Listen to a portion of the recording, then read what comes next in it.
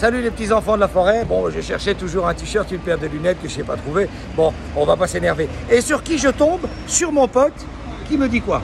Momo le magnifique, le playboy du village, qui vous propose la langouste de 800 grammes par personne, deux brochettes de lot, deux brochettes de gambas, accompagné riz blanc aux sauces oignons.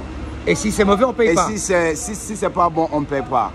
Formidable. Avant de manger, vous mangez d'abord. Si c'est bon, après on tape la main, on reste des bons amis. Voilà. Et moi, ce que j'adore faire, c'est aller bouffer, dire c'est pas bon, je paye pas, et puis c'est formidable. hein. Alors,